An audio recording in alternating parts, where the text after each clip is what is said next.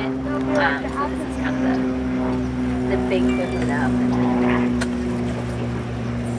I was going to say, you may never get to. Uh, I know. I think it's because people are. Um, it's 12:30 classes Yeah. right now. So we caught it at a bad time.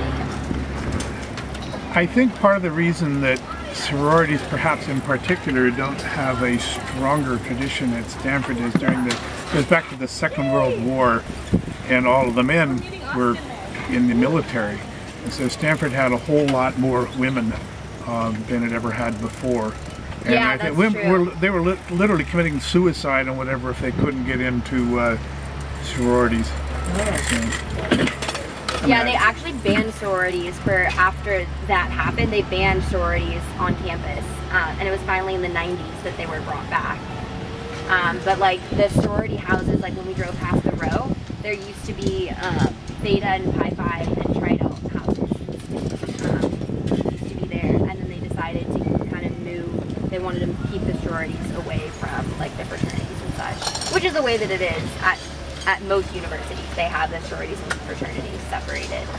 Um, except Berkeley, it's done that way. But Berkeley's kind of you know off doing their own thing. There's one or two fraternities that habitually manage to get themselves kicked off campus and stuff. SAE just got kicked off Stanford's campus um, last year, and they they in two years they're able to petition to get let back on. Um, so that's kind of unfortunate for them. Is there any sort of dress code for class? Like I know I, my dad at Sewanee had some sort of. They had to wear They had to ties. wear ties. No. Is there any sort of? So there might there might have been like way back At least when, not but when you now were here. there's there's not. You can wear like anything you want to campus, um, and the professors like don't really. I mean, they might care, but like you're allowed to wear whatever you want, which is nice. Um, here's the, the outer quad, so this is still part of the new quad building. Um, and then Lathrop is this library right here, which is the new 24-hour library. Charlie. See if this works for this one. Ah, it does. How nice. Okay. Stanford loves these roundabouts. They've added like a million like driving roundabouts. I don't know why they put a biking roundabout. Yeah, that's kind of right silly, there. isn't it? It's really silly. It doesn't really help. It's because that that's like a really congested area, but it it still doesn't do much. Um, so right now we're driving past um, Hoover Tower and Memorial Auditorium. Um, so Ho- Herbert Hoover was actually in the first um, first freshman class at Stanford, and he wanted to be the first student to move in to Stanford. So he camped outside of his freshman dorm um, before the night before move-in, so he could say he was first to move in. Um, and so didn't know that. he um, on Stanford's 50th anniversary, dedicated this um, kind of institute and archives to Stanford. Um, so it's a Hoover, Herbert Hoover Institute on um, War, Peace, and Revolution. So his hope was that if he was able to collect an archive of works, um, artifacts, and the likes on war, peace, and revolution, it would deter people from taking part in war and promote peace.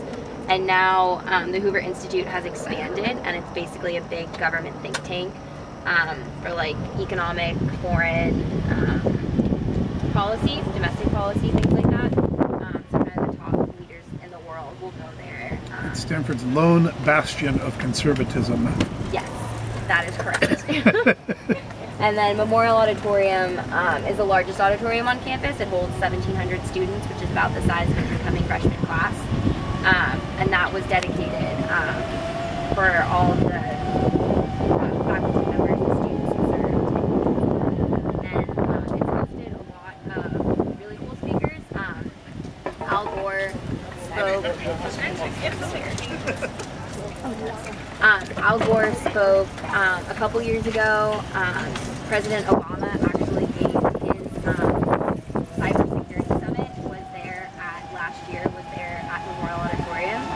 Um, Martin Luther King Jr. spoke there in the 60s. Um, the Dalai Lama has spoken there several times. Um, it's kind of a hot spot for that. I think Gorbachev must have spoken there. I, that does that does ring a bell. I believe so. I Um, was I was on campus, but I couldn't get anywhere near where it was actually going on. But What a shame. yeah, Um, so this is um, now the Graduate School of Business. Um, the GSB is right here. So this is the other. So all the graduate schools, business, education, law, and medicine, are on Stanford's campus. So this is the Graduate School of Business. Um, this and Harvard's Business School and Wharton Business School are the top three in the country. Um, and it's like they do a lot of really cool class. I'm gonna try to take the GSB class right here. They do offer for undergrads and graduate students. Um, but it's kind of nice because right here you have like all of these MBAs who have done and are doing amazing things. Um, kind of right, Right here with you. Right here with you, um, which is pretty neat. Um, so now we're kind of going, um, we're nearing the end of the tour, but we're gonna kind of see some of the athletics part of campus. Um, so that gym right there, that's a student rec center. Um, so any students can go there, use the facilities. There's um, fitness center, yoga studio, rock climbing wall, basketball courts. Um, and that's then, named Ar- Arrillaga too, or is it? it is Arrillaga. Um, and then these are the sand Talk volleyball courts. gave a lot of Um. Stanford's most recent varsity sport that was added was um, sand volleyball. So now they have 37 varsity sports, um, which is pretty much like the most you can have. Um, and then right here, oh, I'm supposed to go that I cannot, I cannot fit through there. Oh, yeah, we'd have to really bring them. My husband just texted, tell Coach Shaw and Christian McCaffrey I said hello. I actually have a class with Christian McCaffrey. I think he's a communications major, so I'll probably end up having more classes with him next year. Um, but yeah, he's he's in, he's in my comm class. He's really cute. My, uh, my husband will think that's pretty cool when I Yeah. tell him that our tour guide. Yeah, I actually um, I did broadcasting for Stanford football um, for a little bit last year. I did like color commentary, and I do women's basketball is like my thing though. I'm the play-by-play broadcaster for women's basketball um, for radio. Yeah, it's like Did you used to play basketball or something that Yeah, I played. I played in high school. Um, so I've been doing it since my freshman year. My sophomore year, I did um, every single game, home and away. I traveled with the team, um, was like exhausting, and I can't believe that student athletes like do it. But it was such an awesome experience. Um, this, so this is Maples Pavilion right here. So this is where men's and women's basketball and volleyball plays. Um, and regarding Coach Shaw, like he was at the men's basketball game on Saturday. I went to it um, and saw him sitting in the stands supporting the men's team. You gotta love that. Pretty exciting game. He's a nice kid. Alright, and then all of the athletic facility uh, offices, administrative offices are in this building here, um, which is the Arrillaga building. Um, so there's Arrillaga Alumni Center, there's two Arrillaga gyms, there's the Arrillaga Family Center, um, and then there's also Arrillaga Dining Hall. Well, what's that? and, and who do you think Yeah. paid to have the stadium redone and supervised its? Oh yeah, and John John Arrillaga had had a hand in that. Um, yeah. How did so, they have their money? Do we know? Um, Developing. I, yes. Yeah, it's developing properties. Um, one of my dad, my dad's best friend's father-in-law is really good friends with John Arrillaga. Wow. Weird connection. Um, and here is the football practice field. So this is where football practices, and then they play in Stanford Stadium. And then this is um, the Aquatic Center. So last year when San Francisco was putting in their bid to host um, the 2024 Summer Olympics. Okay, on that side. Yes.